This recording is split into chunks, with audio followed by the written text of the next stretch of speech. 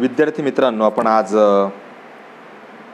science general science standard seven याचा आपण आज रिव्हिजन आता करणार आहोत. त्या रिव्हिजनमध्ये आपल्याला तीन चॅप्टर्स आहेत. फर्स्ट चॅप्टर आपल्याला the living world adaptation and classification हे आहे. दुसरं chapter plant structure and function हे आहे. आणि तिसरं प्रकरण प्रॉपर्टीज ऑफ नॅचरल रिसोर्सेस हे तिसरं प्रकरण आपण या चाचणी परीक्षेला नियत केलेलं आहे. हे पोर्शनला असणार आहे. तर तुम्ही आता आपण याच्यामध्ये आजच्या या उजळणीच्या मध्ये थोडक्यात मी यांच्याविषयी सांगणार आहे. आणि आपल्याला प्रश्नपत्रिका किंवा आपण प्रश्नांच्या स्वरूपाविषयी आपण बोलणार आहोत. प्रश्नपत्रिकेच्या स्वरूपामध्ये तुम्हाला वीस मार्काच्या प्रश्न प्रश्नपत्रिकेत साधारण तीन प्रश्न विचारले जातील. त्या तीन प्रश्नांमध्ये तुम्हाला fill in the blanks match the following true or false यावर आधारित प्रश्न असणार एका प्रश्नामध्ये. दुसऱ्या प्रश्नामध्ये तुम्हाला समजा आपल्याला ॲन्सर द फॉलोइंग त्यामध्ये काय असेल की लहान लहान प्रश्न विचारले जाऊ शकतात. उदाहरणार्थ कारणे लिहा. Give the reasons distinguish names figures काढणे किंवा नोट्स लिहिणे शॉर्ट नोट्स म्हणतो आपण त्याला. ते तसे प्रश्न तुम्हाला विचारले जाऊ शकतात. आणि तिसऱ्या प्रश्नामध्येच तुम्हाला काही वेगवेगळे प्रकारचे उपयोग असतात. एखाद्या गोष्टीचे युजेस म्हणतो फंक्शन म्हणतो है ना? काही प्रॉपर्टीज म्हणतो किंवा असे दीर्घ उत्तराचे प्रश्न तुम्हाला विचारले जाऊ शकतात. मग याच्यामध्ये तुम्हाला तीन गुणांचे दोन गुणांचे असं वर्गीकरण असणार आहे. तर यामध्ये अर्ध्या गुणांचा सुद्धा समावेश तुम्हाला असेल. तर या पद्धतीने तुम्ही या प्रश्नांची तयारी तुमच्या ह्या तीन प्रकरणामधून सर्वांनी करायची आहे. तर तो कसा करता येईल आणि त्याचा विचार तुम्ही यातून करायचा आहे.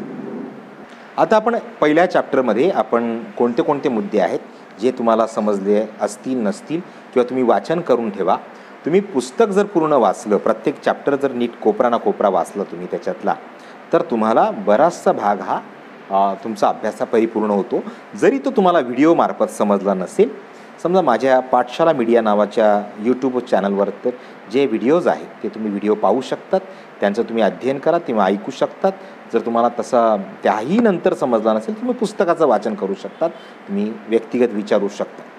तर यामध्ये आपल्याला काय दिलेलं आहे की ॲडॅप्टेशन ॲडॅप्टेशन म्हणजे काय? की एखादी गोष्ट स्वीकारणे. की ती स्वीकारण्यासाठी म्हणजे gradual changes occurs in the body parts also the behaviour of the organism which help them to adjust their surrounding म्हणजे आजूबाजूच्या सभोवतालच्या वातावरणाला तुम्ही ॲडजस्ट जेव्हा करता तेव्हा तुमच्यामध्ये स्वतःमध्ये किंवा प्राण्यामध्ये वनस्पतीमध्ये काहीतरी बदल होत असतात. त्या बदल्सला ॲडॅप्टेशन असं म्हणतात स्वीकारण आणि मग ते ॲडॅप्टेशन्स काय काय तर आपण याच्यात दिलेले आहेत प्लॅन्ट्समध्ये प्लॅन्ट्समध्ये साधारणपणे त्याचं ते कुठे आढळतात? त्याचे टाईप्स किती आहेत? Characteristics of the leaves and the characteristic of the stems लोटसचं एक उदाहरण त्यांनी लिहून दाखवलं आहे तसं कॅक्टस बनियान ट्री म्हणजे वडाचं झाड. कॅक्टस म्हणजे निवडून असं म्हणतात. तर बऱ्याच मुलांनी आता जे काही आपण असाइनमेंटमध्ये किंवा गृहपाठामध्ये प्रश्न देतो ते त्याचा अर्थ त्यांना समजून घेत नाही. तर तो जरा तुम्हाला जे काही कळलं नसेल तर तुम्ही आपल्याहून कोणाला तरी विचारू शकतात मला विचारू शकतात. ॲडॅप्टेशन इन ॲक्वेटिक प्लांट्स आता ॲक्वेटिक म्हणजे काय?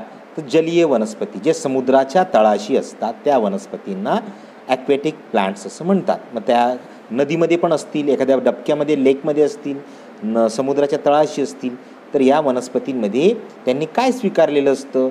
तर ह्या आकृतीमध्ये तुम्हाला दिसतात की कसे बघा या काही वनस्पती असतात. काही काठावरच्या वनस्पती असतात. काहींचे रूट्स जमिनीपर्यंत तरंगत असतात. काही हवेमध्ये तरंगणाऱ्या वनस्पती असतात. तर अशा गोष्टी असतात. तर यांचे मुद्दे तुम्ही लिहिताना त्या प्रकारे लिहिले पाहिजेत. काही केवळ कोणत्याही ओळी लिहिल्या म्हणजे तुम्हाला मार्क मिळतात असं नाही. तर त्या ओळीचा अर्थ असला पाहिजे. त्याचे पॉईंट्स काढून ठेवा. एक दोन तीन चार उत्तर लिहिताना या प्रकारे लिहायचे. की समजा उदाहरणार्थ त्यांच्या स्टेममध्ये काय बदल होतो? त्यांच्या पानांमध्ये काय बदल होतो? त्यांच्या फ्लॉवर्समध्ये काय बदल होतो? हे मुद्दे याच्यामध्ये असतात. ते ते त्याशी बारीक का आहेत? त्यांचा तो शेप जो असा असा का आहे? That is they shape help them to विस्टँड the fast current of the water हे मुद्दे त्यात आले पाहिजे की जेणेकरून आपल्याला त्याचे मार्क मिळू शकतील. मग त्यांनी काही आकृत्या पण दिलेत. आकृत्या जिथे गरज असेल तिथे काढा. बरोबर? मग आता याच्यामध्ये काही प्रश्न आहेत. यांचाही अर्थ तुम्ही समजून घेतला पाहिजे. तुम्ही केवळ पुस्तक न वाचता तुम्ही प्र पेपर लिहू शकत नाही. हां?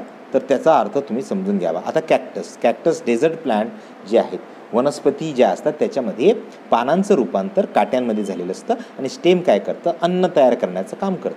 हे तुम्हाला इंग्रजीमध्ये मांडायचं आहे. That is store the water and the food there for the fleshy त्यामुळे ते फ्लेशी झालेलं असतं. त्याच्यामध्ये पाणी आणि अन्न साठवलेलं असतं. तर हा मुद्दा आपण त्याप्रमाणे लिहिला पाहिजे की असं का घडतं? वनस्पतींमध्ये हे बदल का घडतात? त्यांची उदाहरणं माहीत पाहिजे. कॅक्टस म्हणजे काय? तरी निवडुंगांचे वेगवेगळे प्रकार आहेत. तर काही मुलांना वाटतं की ही वनस्पती कीटक खाणारी आहे. ती कीटक खाणारी नाही आहे हे लक्षात घ्या. ती त्याचा त्याच्यातला तो भाग आहे. कारण आता काही गृहपाठांमध्ये मुलांनी असे समजून घेतले होते. तर adaptation in the snowy region snowy region म्हणजे ज्या ठिकाणी बर्फाळ प्रदेश असतो तिथे या प्रकारचं ॲडॅप्टेशन त्यांनी केलेलं असतं. सुचीपर्णी म्हणजे त्यांचा सुईसारखा आकार असतो. हे सुईसारखा. इथे बर्फ पडला तर तो असा घरंगळून खाली पडतो. तो साठून राहत नाही. जर आपलं इकडचं झाड असतं गावाकडचं तर तो बर्फ साठून ते झाड खराब झालं असतं. तर plant snowy region mainly include the conifer like deodar pine म्हणजे बघा असे नावंसुद्धा तुम्हाला माहीत असले पाहिजे. त्यानंतर त्याचं conical shapes prevent the snow ते असं का असतं? त्यांचं खोडामध्ये काय रूपांतर झालेलं असतं? ते पण आपल्याला माहीत पाहिजे. Adaptation in plants in forest region जंगलामध्ये जे जंगलाचे प्रदेश आहेत त्यामध्ये काय बदल झालेले असतात? तर इथे खालच्या ज्या झाडांमध्ये सूर्यप्रकाश पोचत नाही तर त्या वनस्पतींमध्ये तिथे वेली ज्या असतात त्या त्या झाडांवर उगळलेल्या असतात. त्याचं ॲडॅप्टेशन झालेलं असतं. ॲडॅप्टेशन इन ग्रासलँड प्लांट्स केवळ काही लिहिण्यापेक्षा त्याचे प्रॉपर मुद्दे हे लिहिले पाहिजेत. ॲडॅप्टेशन इन ग्रासलँड म्हणजे काय? जी गवताळ प्रदेशामध्ये कशा प्रकारचं ॲडॅप्टेशन झालेलं असतं? Fibrous roots of the grasses prevent the soil erosion सॉईलचं erosion ते थांबवत असतात. तर हा मुद्दा इथे आपल्याला प्रकर्षाने लक्षात घेण्यासारखा आहे. Vast meadows are found in the hilly areas as well as plain मोठमोठ्या याच्यामध्ये जे पर्वता जागा असतील त्यांच्यामध्ये कशा प्रकारचा हा बदल असतात तो याच्यात येतो. त्यानंतर ऑब्झर्व द आता बघा पुढचं जे आहे की ह्या वनस्पती ज्या दिलेल्या आहेत या अन्नसंचयीमुळे आहेत. यांची नावं दिली आहेत प्रोटॅटो ग्राउंडनट्स हे जमिनीखाली वाढत असतात. वॉटर हँड हॅन्सिंथ अलॉय है ना? तर नंतर acacia carrot onion beet bitter gourd grape vine ह्या वेलींवर जगणाऱ्या वनस्पती आहेत. तर यांचेही मुद्दे तुम्ही वाचले पाहिजेत. कसकटा ही जी आहे अमरवेल आपण जिला म्हणतो ही वनस्पतींवर वाढत असते. हा प्राणी नाही आहे कसकटा जो आहे तर जर समजा आपल्याला food in a plant injection of the food तर आता ही जी वनस्पती आहे बघा विनस प्लाय ट्रॅप याच्यामध्ये ना कीटकांना मारून ते त्याच्यातला नायट्रोजन हे शोषण असतात. तर दिलेलं आहे बघा the plants need the phosphorus and the potassium for the growth of the soil which is the nitrogen drosera त्या वनस्पतीचं नाव काय? आहे ड्रॉसेरा तिला संडीव पण म्हणतात. विनस फ्लायट्रॅप पिचर प्लॅन्ट या तीन प्रकारच्या नावाच्या वनस्पती या कीटक खातात. कारण कीटकांमधून इन्सेक्ट खातात. कीटक म्हणजे काय? इन्सेक्ट त्याच्यातला नायट्रोजन हा त्यांच्या रक्तातला शोषतात आणि स्वतःसाठी वापरत असतात. म्हणून यांना कीटकभक्षी वनस्पती असं म्हणतात. त्याने ॲडॅप्टेशन झालेलं आहे. आता आपण प्राण्यांच्या बाबतीत बोलूया. प्राण्यांमध्ये कोणत्या प्रकारचं आता ॲडॅप्टेशन झालेलं आहे? तर बघा ही जलीय जे प्राणी असतात यांच्यामध्ये त्यांचा आकार हा होडीसारखा झालेला असतो. Undergoes some changes skin fins त्यांच्या स्किन असतात त्यांना स्केल्स असतात खवले असतात काही चिकट स्मूथ असतात. तर काहींमध्ये खवले असतात काही पर असतात त्यांना शेपटी आहे त्यांना नोज आहे त्यांना नॉस्ट्रिल्स ऐवजी त्यांना जे कल्ले असतात है ना? त्याच्यातून ते श्वास घेत असतात. तर गिल्स म्हणतात त्यांना कल्ल्यांना काय म्हणतात? Gills instead of the nose त्यांच्यात हा बदल झालेला आहे. त्यानंतर त्याच प्राण्यांच्या बाबतीत आता इथे बघा प्राण्यांमध्ये बदकामध्ये त्यांचे जे पायांचे जे असतात वेब टोज असतात. वेब टोज म्हणजे काय? बोटं ही जोडलेली आहे ती बोटं जोडलेली वनस प्राणी जे असतात ते राहत असतात. Birds like duck and the water hen पानकोंबडी आपण म्हणतो. त्यांचे टो स्लिपरी स्मूथ स्किन असते. हां? Triangular shape of the frog swims easily through water त्यांचा त्रिकोणी आकार. माशाचा पण एक घोडीसारखा आकार असतो. पाण्याला तो कापू शकतो जाऊ शकतो. पुढे त्यांना प्रतिरोध होणार नाही. हा मुद्दा याच्यात आपल्याला लिहिता आला पाहिजे. त्यामुळे याच्यात उजळणी करताना या गोष्टीचा विचार नक्की करा. Adaptation in the forest grassland त्यांच्यामध्ये काय असतात? की काही वनस्पती प्राणी असतात. त्या आता प्राण्यांचा विचार करतो इथे वनस्पतींचा नाही काही वाईल्ड असतात फॉक्स टायगर्स लायन्स त्यांना स्ट्रॉंग लेग्स असतात ते त्यांच्या टीथ मोठे असतात ते सहज त्यांचे क्लॉज मोठे असतात म्हणजे नख्या मोठे असतात ते त्यांचे टीथ शार्प असतात पॉइंटेड असतात त्याच्याने ते खाऊ शकतात. टायगर आणि ते पण. मग त्याला पिरियडरी कॉर्निवरस जे असतात कॉर्निवरस म्हणजे काय? जे याच्यावर जगत असतात वनस्पतींवर त्या वन हर्बिओरसवर. ते त्यांच्यावर जगत असं म्हणून त्यांना कॉर्निवरस असं म्हणतात. प्रिडेटरी म्हणजे प्राथमिक भक्ष करणारी प्राणी. तर हे आहे. Long distance different direction deer आणि द ब्लॅक स्टब यांची उदाहरणं तुम्हाला माहिती असावीत. तर उदाहरणं तुम्ही लिहिता आले पाहिजेत. त्यानंतर डेझर्टमध्ये काय बदल असतो? डेझर्टमध्ये बघा हे अशा प्रकारचे जे प्राणी असतात यांच्यात काय काय बदल झालेला असतो? तर तिथे पाण्याची कमतरता असते. Scarcity and their thick skin असते. त्यांच्यामध्ये लॉस ऑफ वॉटर होऊ नये म्हणून. त्यानंतर त्यांचा कुशन सोल्स असतं पायाला तळव्यांना गादी असतात. आणि त्यामुळे त्यांना ते वाळूमध्ये सहज चालू शकतात ते पडू शकत नाही. तर हा एक मुद्दा त्याच्यामध्ये आहे. त्यानंतर eyelashes are long thick त्यांच्या ज्या ह्या असतात त्या मोठ्या असतात. जाड पापण्या. त्यानंतर rat snake spider lizard deserts हे उदाहरणं त्याच्यामध्ये दिलेले आहे त्यांचं डीप बरो करतात. ते खूप खोल कारण उष्णता असते त्यामुळे ते खूप आतमध्ये बिळं राहून ते राहत असतात. तर हे प्राणी त्याचे उदाहरणं आहेत. यांची नावं तुम्ही शोधून ठेवू शकता. Adaptation in animal of a snow region स्नोमध्ये असणारे जे प्राणी आहेत त्यांचं ॲडॅप्टेशन कशा प्रकारे होत असतं? त्यांच्यामध्ये सिल्वरी बॉडी असते काही कलर्स काही नावं दिलेली आहेत. टिपिकल कॅरेक्टरिस्टिक असतं. सॅबिरियन हस्की डॉग उदाहरणं आहेत. माउंटेन गोट त्यानंतर सिल्वर फॉक्स काही याक आहेत बियर आहेत यांनी स्वतःचं ॲडॅप्टेशन तसं केल्याचं आपल्याला दिसून येतं. Adaptation in aerial animal adaptation म्हणजे हवेमध्ये संचार करणाऱ्याला एरियल असं म्हणतात. मग यांचं बॉडी स्पिंडल शेप असतं. स्पिंडल म्हणजे काय? जे आपल्या घरातलं चपात्या बनवण्याचं लाटणं असतं. त्याला लाटणला आपण काय म्हणतो? स्पिंडल है ना?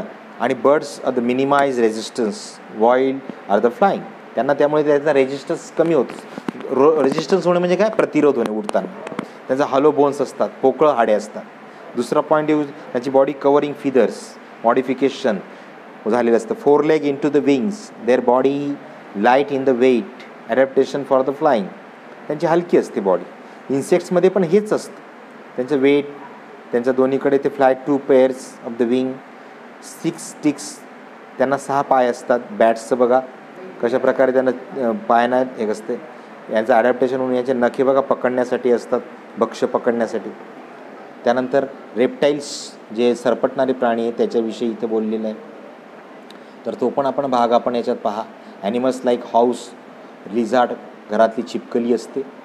त्यानंतर क्रोकोडाईल मगरमच्छ त्यांचं पण अडॅप्टेशन काय आहे? त्यांची स्किन जी आहे ती वेगळे प्रकारची ते जमिनीवर आणि पाण्यात पण राहतात. जे this house lizard monitor lizard have the clawed toes ते भिंतीला चिटकून आणण्यासाठी त्यांना क्लॉड असतात टोज आणि थीन सोल्स असतात नरम. त्यामुळे ते चिटकून राहतात. स्नेकला तर काय त्यांची समटाईम्स स्केली रिज स्किन असते. पण ती नंतर ते कात म्हणून काढतात. याच्यात पण असा प्रकारचा बदल आपल्याला दिसून येतो. Adaptation for the food in animal आता फूडसाठी काय ॲडॅप्टेशन करतात?